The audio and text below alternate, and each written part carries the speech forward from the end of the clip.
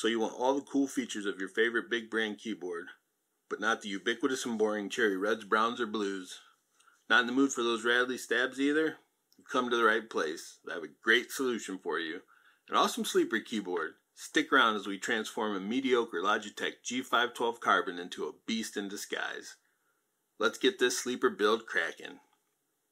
I'm Craw. Thanks for checking out the channel. If you're new, thanks for stopping by. If it's a return trip, thanks for coming back. Make sure you hit that sub and ring the bell so you don't miss future content. Be sure to leave a comment let me know you're finding value and what kind of things you'd like to see.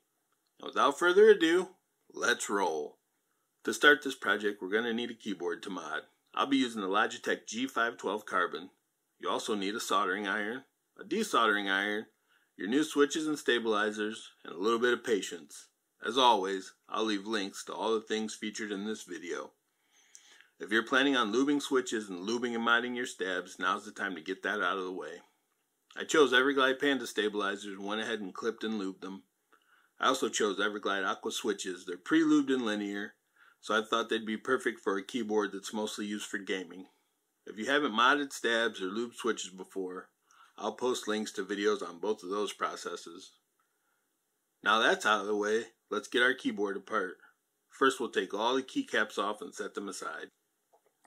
Next, search out and remove the screws so we can split the case. There's a chance some of the screws will be under the rubber pads on the bottom and also some under the keycaps on top. Once the case is opened, if it's easier to work with, you can remove the cord also. You need to be able to comfortably work on the bottom of the PCB. Now we remove the old switches. Game on.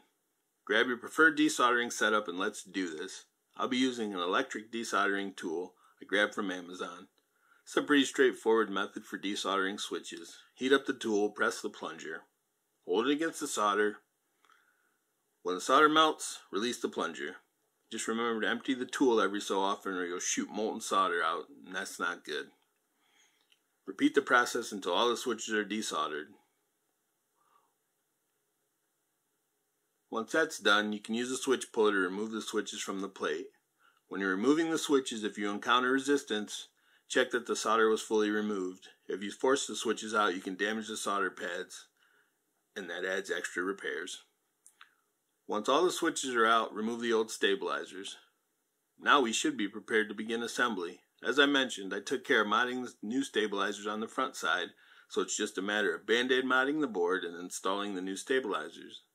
I had to use two of the original stabilizer bars as Logitech feels the need to use some non-standard key sizes. Stabs are in. Now we install our switches. Once the switches are all installed, we can flip over the PCB to access the bottom side and the legs will be soldering. Hope your iron's hot because it's time to go. Hold the tip of the iron between the pad and the leg and add solder. Take your time. Once it's all soldered, reattach the cord if you chose to remove it. Now we want to plug into our computer and test all the switches before we completely reassemble it. This will make it tons easier if you have to redo any solder. This process best with a second keyboard if you have one around, otherwise you'll be testing your skills typing with no legends and that can be quite challenging. Just head over to keyboardtester.com and use the online service to verify all your switches are working properly. Now that we know our switches work, we can put all the screws back into the keyboard and put the keycaps back on. If you want to have fun, try putting the caps back on without a reference.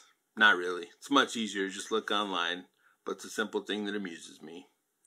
All done. Time for a sound test see how it all feels.